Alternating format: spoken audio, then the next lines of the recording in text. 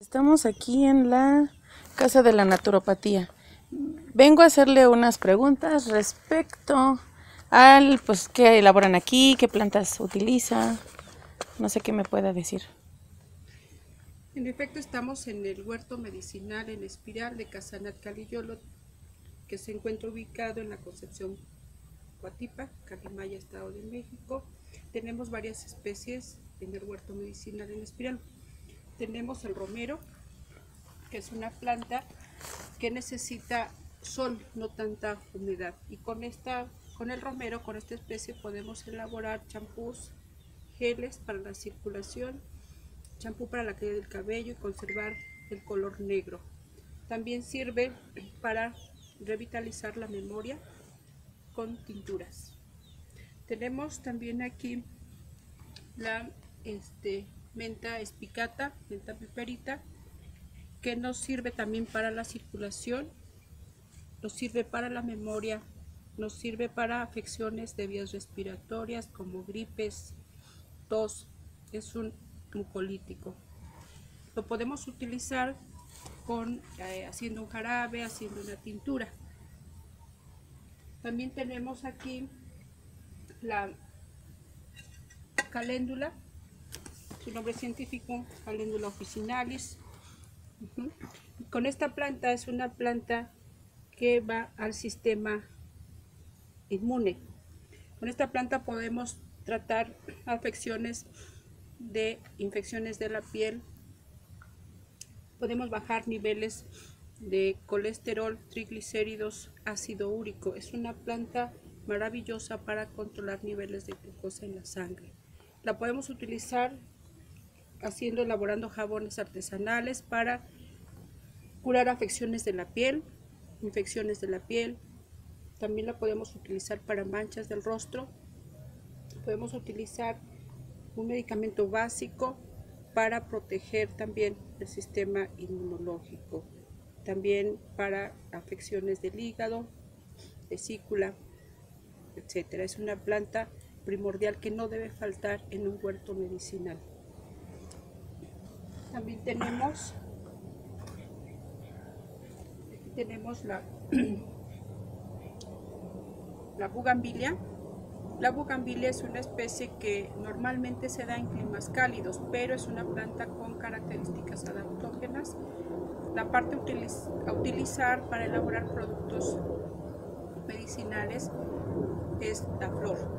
La flor la podemos este, eh, eh, hacer jarabes, es un expectorante, es un político, sirve para la gripe, se puede combinar con menta, se puede combinar con flores de lobo, con canela y ajo y es un excelente jarabe para combatir la tos.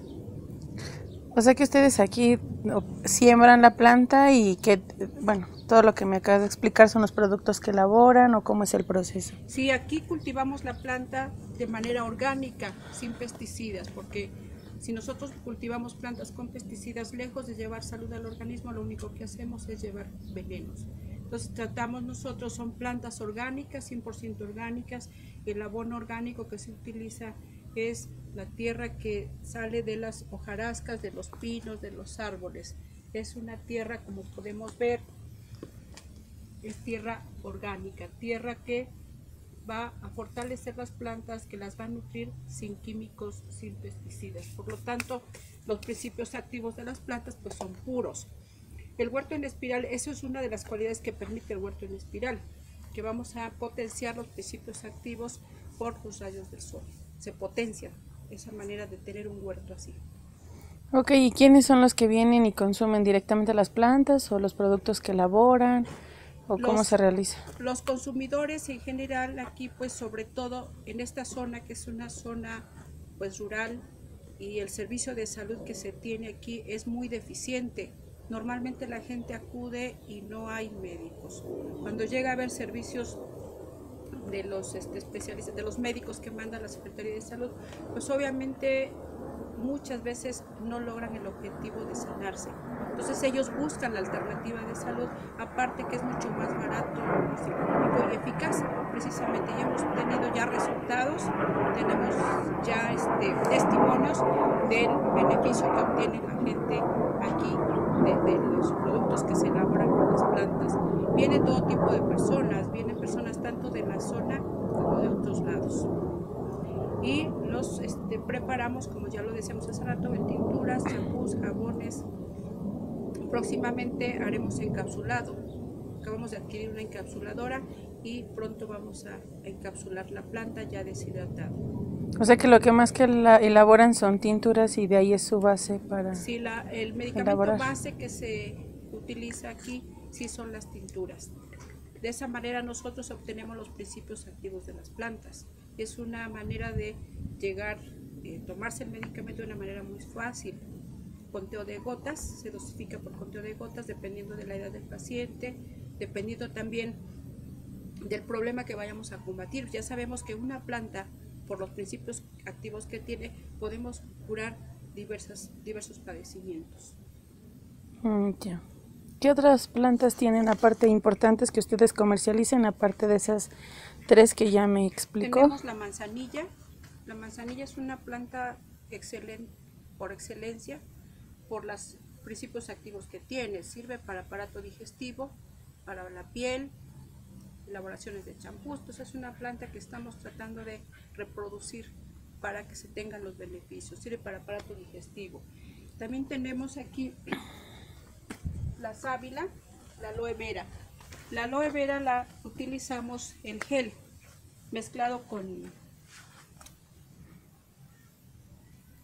con miel pura de abeja para combatir problemas digestivos, sobre todo la gastritis, úlceras gástricas, es un excelente protector de la mucosa gástrica. Entre otros usos, también lo hemos utilizado para combatir problemas de eh, intestino grueso, entre ellos pues la aparición de hemorroides, elaborando algunos este, supositorios que se utilizan por vía rectal para combatir esas afecciones.